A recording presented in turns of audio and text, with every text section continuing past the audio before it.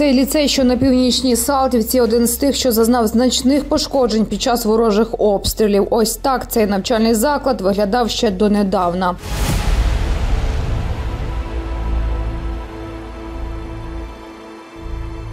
Але незважаючи навіть на це, у 942 учнів цьогоріч все ж розпочався навчальний рік, хоч і онлайн. Навчальний рік розпочався. Назвати, що школа в хорошому стані не можна. На жаль, вона зазнала значних руйнувань. Жодного цілого вікна немає. Вибиті всі шибки, зруйновані деякі стіни в школі. Сьогодні у нас вже замінені всі вікна на першому поверсі. Е, Працюють над е, утепленням і над облаштуванням укриття. Бо сьогодні там. І сиро, і труби проходять. Почали з того, що зробили гідроізоляцію. Сподіваюсь на те, що нам не прийдеться туди ховатись. Але якщо вже буде така нагода, то будемо мати місце, куди заховатися.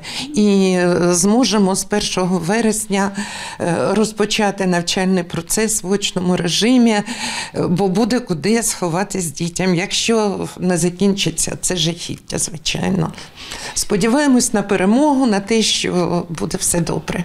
Так, бригада ремонтників робить все можливе, щоб повернути цьому навчальному закладу довоєнний вигляд. Зараз, поки суха погода, тривають зовнішні роботи з відновлення конструктиву будівлі. Це ремонти фасаду, покрівлі, відмостки. Згодом кажуть, розгорнуть і внутрішні ремонти коридорів, кабінетів та комунікацій. Згідно інформації профільного департаменту, зараз роботи з реновації навчальних закладів, що зазнали пошкоджень під час ворожих обстрілів, проводяться на 11 об'єктах міста. У нас пошкоджених саме школ у нас понад 80 там чи 83.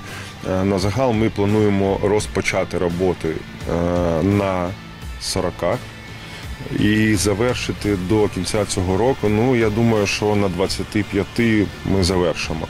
Ну а там ви розумієте, як то кажуть, коли ми приступаємо до об'єкту, є розборка, і там можуть е, виникати деякі нюанси, і вони там подовжують роботу. Але на все це вже на загал є кошти.